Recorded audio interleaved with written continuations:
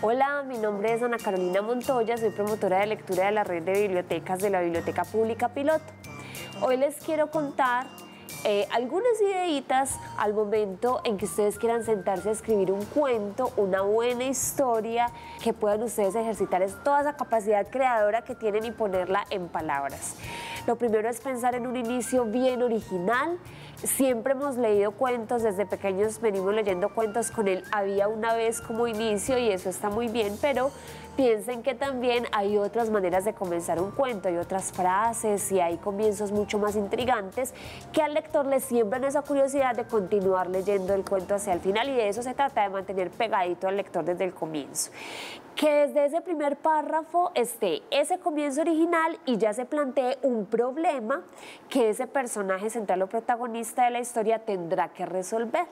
Entonces, una vez teniendo claro y definido el inicio y el problema, ya pasamos a resolver ese problema.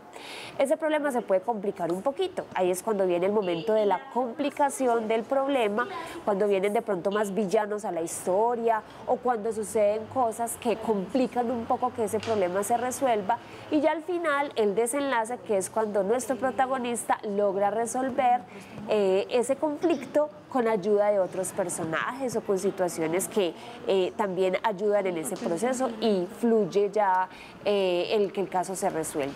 Es rico también pensar en darle un final inesperado, que el cuento no sea muy predecible. Tenemos ya el primer párrafo de nuestro cuento con personajes, con un inicio.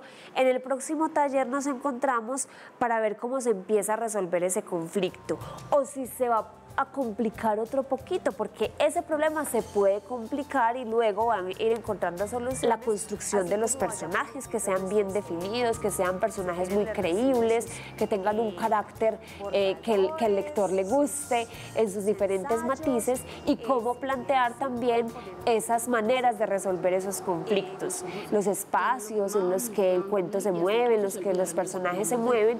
José fue volviéndose grosero con las personas de su entorno, ya que en su casa le estaban enseñando esa clase de comportamientos.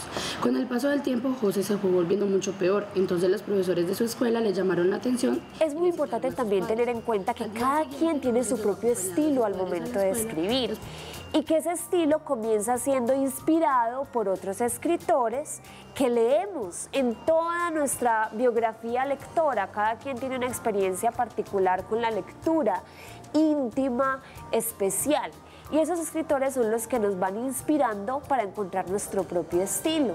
Entonces, qué rico también animarse a descubrir cuál es mi estilo como escritor, cuál es mi estilo como escritora. Y para eso es fundamental convertirse en un buen lector primero y así vamos a escudriñar dentro de nosotros cuál es ese estilo que nos va a hacer originales y nuestra manera de crear historias.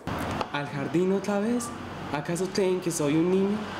Todos mis compañeros dicen que sus papás los llevan al parque de diversiones, a ver películas en el cine, e incluso Perlo dice que ya fue a la casa de terror en la plaza. Es como si no me quisiera. Uno empieza escribiendo, por ejemplo, diarios, eh, relatando anécdotas de cosas que le pasaron durante el día, describiendo también personas que le impacten a uno, lugares que le gusten, que haya visitado, hablando de cómo se siente en una situación particular.